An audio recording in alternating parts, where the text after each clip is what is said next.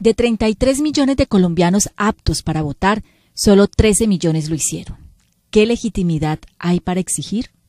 Solo el 39% de colombianos salieron a las urnas.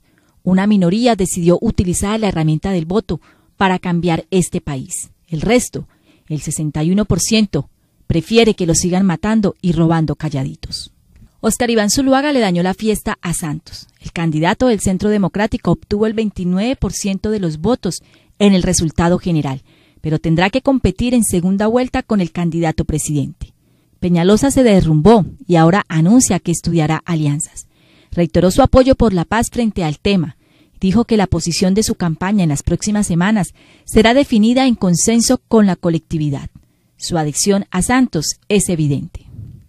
Santos, por su parte, invitó a Peñalosa y a Clara López a unirse a su campaña. El polo, o mejor, Clara López y Aida Abella, ¿hacia dónde se inclinarán? La respuesta es obvia. Entonces, ¿usted que no votó, a quién va a elegir? Por lo menos dése la pela y salga a votar. No tenemos un panorama bueno ni los mejores candidatos, pero demuestre que como ciudadano existe. De no hacerlo, siga con el cuento de que no le gusta la política.